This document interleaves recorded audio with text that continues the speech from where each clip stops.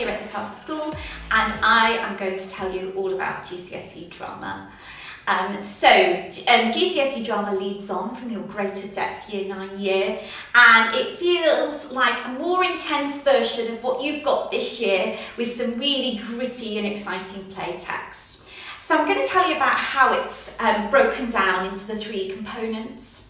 In component one, you create your own bit of theatre. You work from a stimulus um, and you're in groups, you pick a stimulus and then you devise a piece of performance and you document that pro process in what we call a portfolio.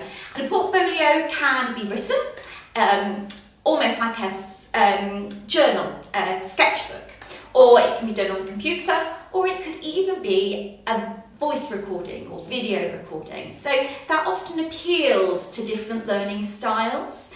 So that is component one, a really exciting devised theatre project. Component two is where you perform two extracts from a play to an examiner. So it's a real pure acting um, component. So a visiting examiner comes into school and sits in the drama studio and you and your group will get up onto stage and you will perform two extracts um, from a play and every group in the classroom will probably work from a different play. So we pick something that's really suitable and exciting for you. And then the final component is um, a written exam, and that's worth 40%, and that is done in the exam hall with all the other exams um, in the summer of your year 11 year. But you will study a set text called Blood Brothers and you'll answer questions on Blood Brothers in that exam. We will study Blood Brothers in a really practical way. We'll be up on our seat, we'll uh, be rehearsing scenes, experimenting with staging.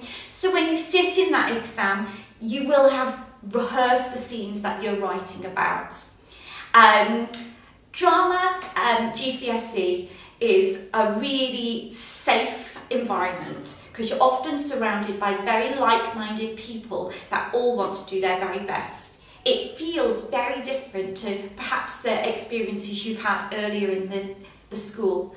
Um, often students that study GCSE drama go on to places like the Space or Bridgwater College or go to study drama at Richard Huish. But some that don't continue their journey with drama always say how valuable it was um, for their life um, for presentation, public speaking. Often when they go off to their university interviews, people comment on how confident and expressive they are.